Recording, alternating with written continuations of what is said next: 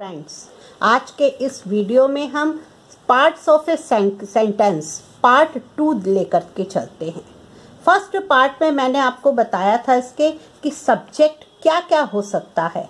आज मैं इस पार्ट में आपको बताने जा रही हूँ कि वर्ब क्या क्या हो सकते हैं। सबसे पहले तो हमें ये समझना है, मैंने प्रीवियस वीडियो में भी ये डिस्क्राइब किया था कि कोई भी सेंटेंस एक सिंगल वर्ड का भी हो सकता है। सेंटेंस वो है जिसका कंप्लीट सेंस हो। फॉर एग्ज़ाम्पल इंडीड इसी तरह कोई भी ऐसा सेंटेंस जिसमें सिर्फ़ वर्ब है, वो एक सिंगल वर्ड भी हो सकता है। फॉर एग्ज़ाम्पल मैंने दिया था गो कम ये कंप्लीट अपने आप में सेंस रखते हैं। अगर हम किसी व्यक्ति से कहते हैं, कम कम मतलब आओ, यानी कि हम उसे परमिशन दे रहे हैं। गो, जाओ, यानी जाने की परमिशन दे रहे हैं। ये एक पूरे कंप्लीट सेंस वाले वर्ब हैं और इन्हें एज ए सिंगल वर्ड भी किसी सेंटेंस के रूप में यूज़ किया जा सकता है। इसके अलावा कौन कौन से वर्ब हो सकते हैं? Main verb transitive verb intransitive verb helping verb modal helping verb जिन्हें आप मॉडल हेल्पिंग वर्ब भी कहते हैं। सबसे पहले हम देखते हैं मेन वर्ब क्या है मेन वर्ब मेन वर्ब जिसको हम कह सकते हैं एक्शन वर्ब एक्शन वर्ब यानी कि जहाँ कोई कार्य हो रहा है। ये कार्य करने वाला कौन है? ये कार्य करने वाला सब्जेक्ट है। ट्रांसटिव वर्ब ट्रांसटिव वर्ब क्या है?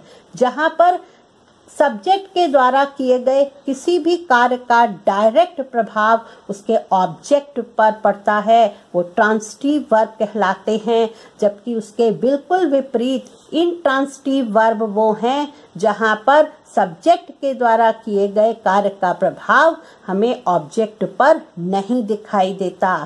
फॉर एग्ज़ाम्पल ही लाफ्ट वह हंसा।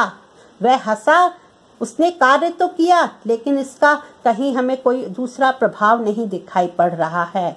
इसके बाद आते हैं हेल्पिंग वर्ब हम आसानी से समझ सकते हैं is am are was were do does did ये सब हेल्पिंग वर्ब के रूप में प्रयोग हो सकते हैं। साथ ही साथ कहीं ये शब्द जो हैं, ये लिंकिंग वर्ब के रूप में भी प्रयोग होते हैं, और उनको हम जब ये दो सब्जेक्ट और ऑब्जेक्ट को यूज़ करते जोड़ते हैं आपस में तो वो लिंकिंग वर्ब कहलाते हैं।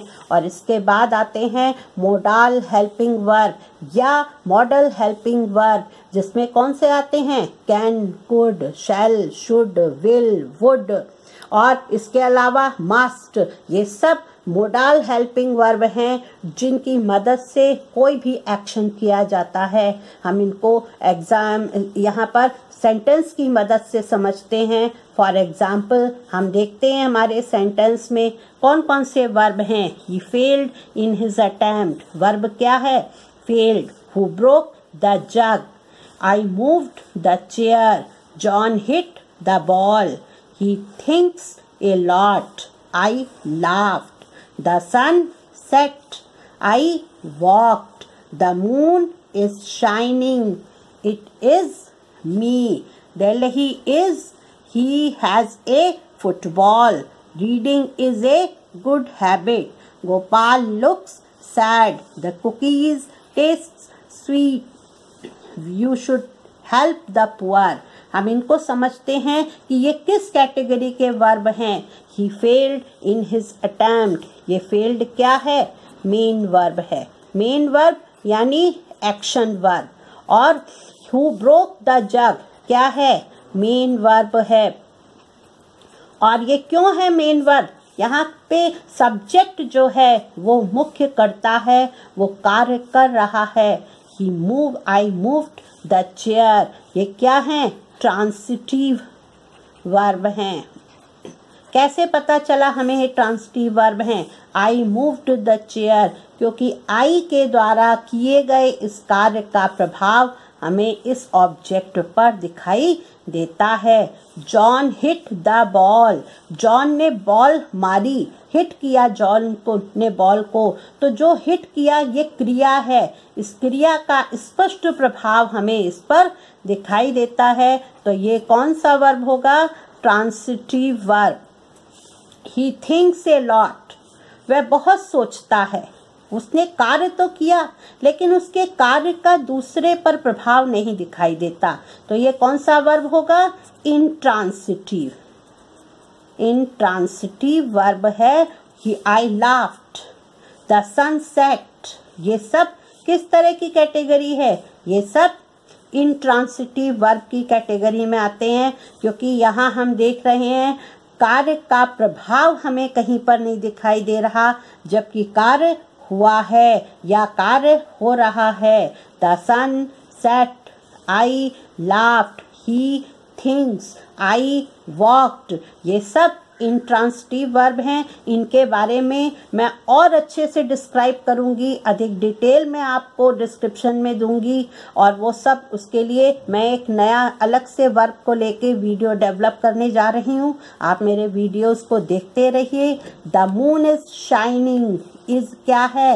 ये हेल्पिंग वर्ब है यहाँ पर और हेल्पिंग वर्ब के साथ शाइनिंग क्या है? मेन वर्ब है। तो इस तरह से हम क्या देखते हैं कि जब यहाँ पर इज़ हेल्पिंग वर्ब आ रहा है, यहाँ पे इट इज़ मी क्या है ये? हेल्पिंग वर्ब है। Delhi is the capital of India helping verb है। हेल्पिंग वर्ब हमारे लिंकिंग वर्ब का भी काम करते हैं, जबकि वो सब्जेक्ट और ऑब्जेक्ट को जोड़ते हैं। जहाँ पर भी देखिए इट इज़ मी इज़ क्या काम कर रहा है? हेल्पिंग वर्क का काम कर रहा है। साथ में लिंकिंग वर्क का काम कर रहा है। He has a football has क्या है यहाँ पर? हेल्पिंग वर्ब है। Reading is a good habit ये हेल्पिंग वर्ब है। गोपाल लुक्स सैड यहाँ इन वर्ब को ध्यान से देखिए। The cookies taste sweet delicious ये दोनों वर्ब हम ध्यान से देखेंगे। ये क्या हैं? ये हेल्पिंग वर्ब की लिंकिंग वर्ब फॉर्म है। यानी कि ये लिंकिंग वर्ब हैं जहाँ पर हमको काम तो हुआ है। गोपाल लुक्स सैड गोपाल जो है, वो दुखी दिखाई देता है।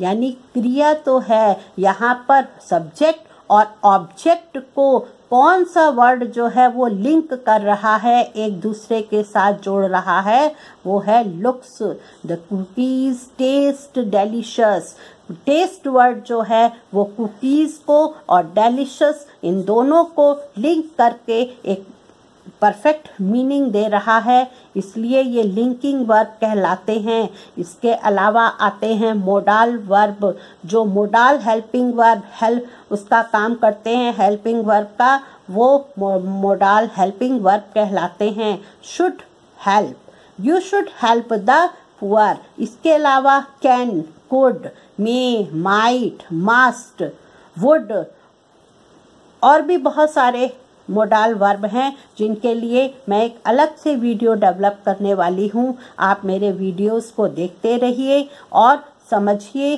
अगर कोई चीज़ यहाँ कन्फ्यूज़न है आपको तो आप उसको कमेंट बॉक्स में लिख सकते हैं। आप मुझसे क्वेश्चन कर सकते हैं। मैं आपके सभी क्वेश्चन का रिप्लाई दूँगी।